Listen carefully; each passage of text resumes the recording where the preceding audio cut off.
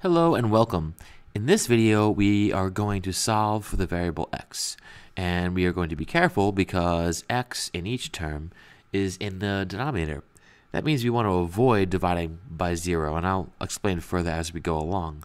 Uh, but our first step, uh, my first step, is to multiply by x and 2x plus 1. The reason I'm going to do that is because that's a multiple of each of our denominators. Notice we have the factor x in our first term here, and we have 2x plus 1 right here. I know that 2x squared plus x, if I just quickly factor that over here, well, the common uh, factor in 2x squared plus x is x. And if we multiply x by 2x, we get 2x squared, and x by 1, we get x. So I recognize that this denominator, 2x squared plus x, is simply the product of x and 2x plus 1, which is a multiple of itself. So in other words, uh, we have x and 2x plus 1 is a multiple of all three denominators. Why, why is that so helpful? Well, when we multiply it out, we're going to cancel. In the first term here, we have 1 in our numerator, right? 1 times x times 2x plus 1. So we're going to multiply everything by that common factor, right? Over x minus 2 times that, 2 times x times 2x plus 1 over 2x plus 1. And finally, again, 1 times x times 2x plus 1 over 2x squared plus x. So again, all I did there is, is multiply everything by x and 2x plus 1. Now, uh, here we see that we have x divided by x is 1, and 2x plus 1 divided by itself is 1. And here, x times 2x plus 1 divided by itself is 1, right? These things are the same here, even though they look different. The denominator is equal to the factored form of, the expanded form of the numerator.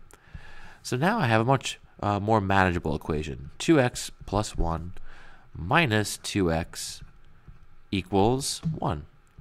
Combine like terms, 2x minus 2x is 0, and I get 1 equals 1.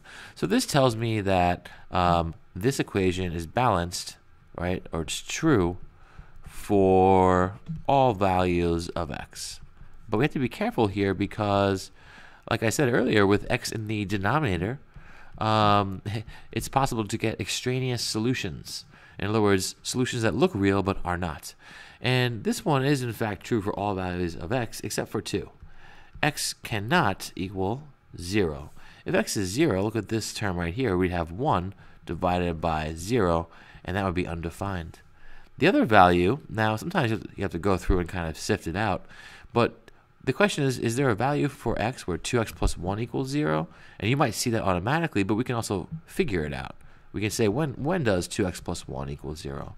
We subtract 1 on both sides, and we divide by 2, and x equals negative 1 half. And that's true because if x was negative 1 half, 2 times negative 1 half is negative 1, and negative 1 plus 1 is also 0. So that's another value of x that we can't have here. So you sometimes might have to go through and test it for all denominators, but we just want to make sure that we don't just say, okay, it's going to work for all values of x. Well, that, that would be true ordinarily in a linear equation, except here x is the, the denominator, right?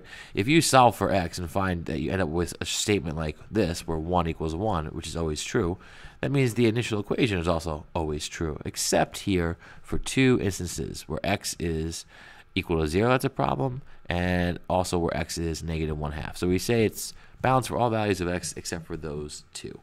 All right, hope this helped.